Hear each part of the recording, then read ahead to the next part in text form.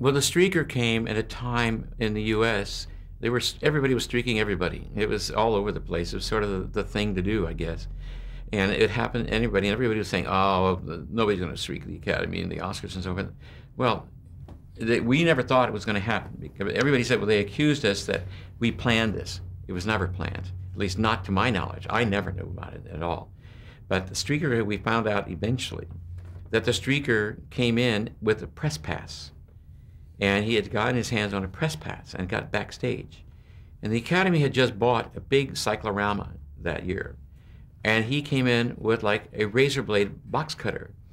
He dumped his jumpsuit behind the cyc and sliced it right down and came out of there and it was right in line behind where David Niven was. Now David Niven, we kidded about it between us in the afternoon. I said, and he said, is there going to be a street? I said, not to my knowledge, David. No, there is not. And he says, "Well, I'm going to think about it. If it does, and some, I says, "Don't worry. It's not not going to happen, David." And so we did it.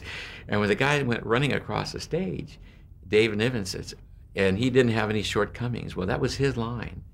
And and I and I and I also said to everybody in the booth, I said, "Let me tell you something. He also wasn't Jewish." And so that's true story. Marlon Brando decided not to pick up his Academy Award one year. Yes, that was very early on. That was in the early '70s. I don't know which exact year.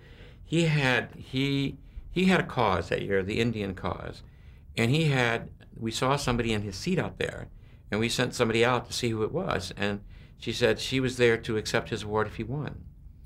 And we found out that her name was Sacheen Littlefeather. And uh, when she, and he did win, and she came up to the stage, well, we had a problem backstage that nobody knew about that uh, we couldn't cut her off because we other people had allowed to have an acceptance speech, and then she started on her tirade. Well, John Wayne was backstage. Duke was really upset. He it took us six men to hold him back. He was going to go out there and jank her off that stage, and it was a real, real fight going on until then she finally stopped and went off. And because he was he was knocking people aside, and he was he was going to run out there right away and get rid of her. And it never, we never got there. But that was, that was very interesting. John Wayne. I think one of the most beautiful moments is the appearance two months before he died.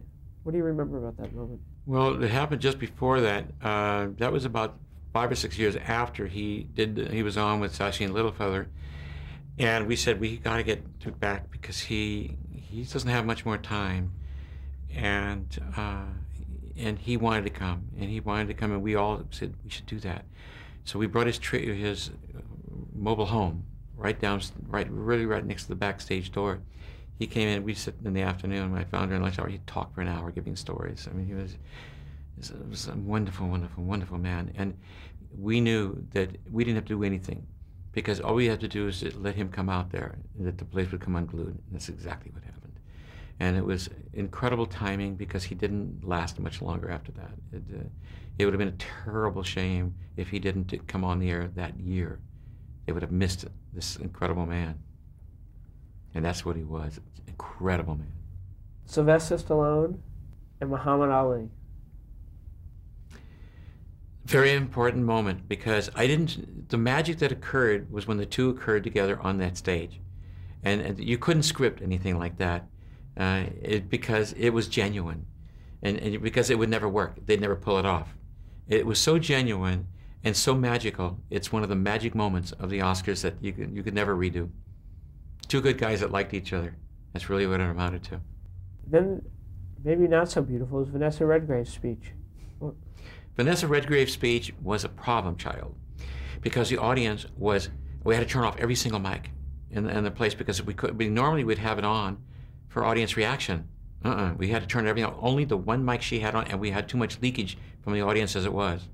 And we had to pull her voice down even a level because the audience was so vocal during her time. And we couldn't get her off.